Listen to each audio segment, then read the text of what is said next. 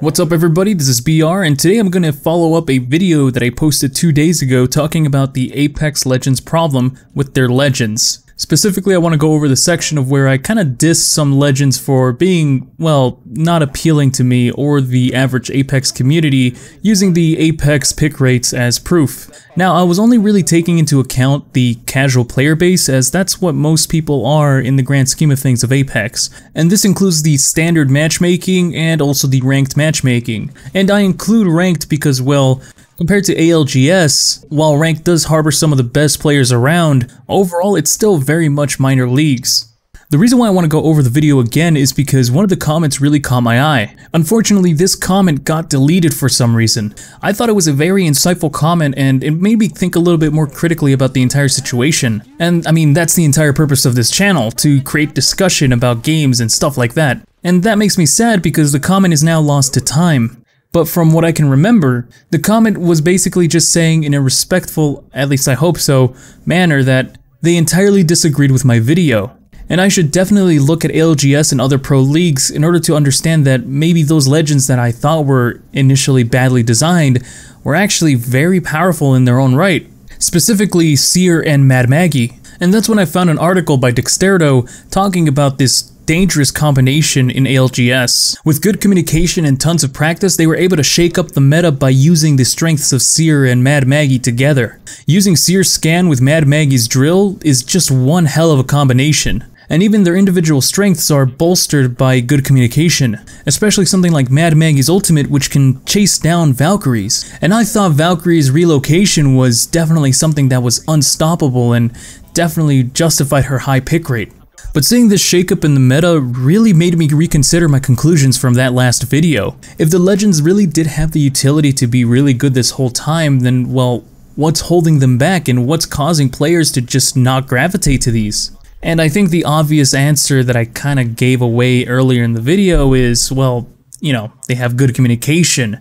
Mad Maggie and Seer really don't work when you're playing solo. And that definitely shows my own bias because, well, I mostly play solo, or when I am playing with friends, I don't communicate like it's a competitive game. I mean, I'm not communicating like I'm playing TF2 Sixers or Highlander, I'm just, you know, hey, there's somebody over here, I dealt damage, they're one hit, you know, basic callouts that don't really help at all. But what about the imbalance in pick rates? If pro players are picking legends like Seer and Mad Maggie and Gibraltar while the community isn't, well, what's causing that issue? When I look at Counter-Strike, whenever the pros use a weapon, there's millions of followers who also do as well, even if it's something that's not conventional. People are going to see these pros dealing heavy damage and, well, they're going to try to imitate it in order for them to have their own success. But what makes Apex Legends just so different? And, well, I came to this relatively hot take here.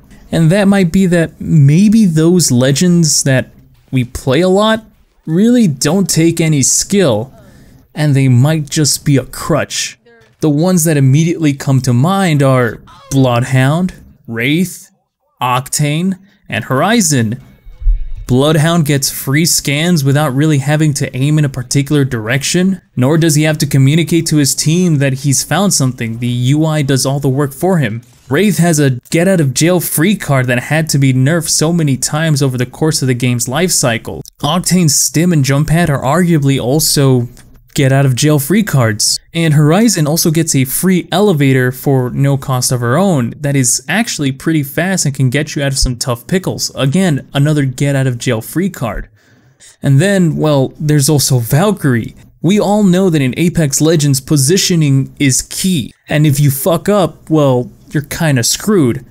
Unless you have a Valkyrie. Valkyrie can definitely change the tide of battle, especially if you screw up during the positioning phase, being able to relocate with their own redeploy.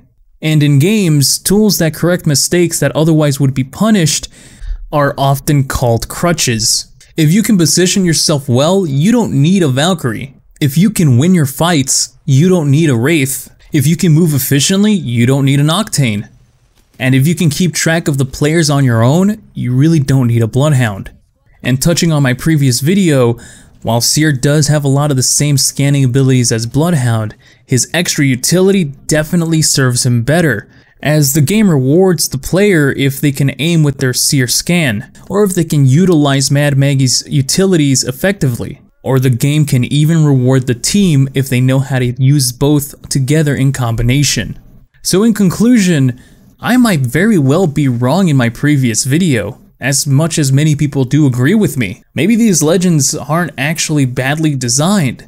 Maybe the reason why people gravitate to all those other legends are because, well, they're crutches, they're easy to use, they correct mistakes that, well, otherwise would have gone punished. And once you stop doing those mistakes, well, you now have the liberty to play any other legend that has something extra rather than something that fixes mistakes. And maybe, just maybe, the Apex community has become way too reliant on these easy legends. But tell me what you guys think in the comment section down below. If you found this video interesting, like it if you like it, dislike it if you disliked it. If you'd like to see more content like this in the future, consider subscribing, and I'll talk to you later.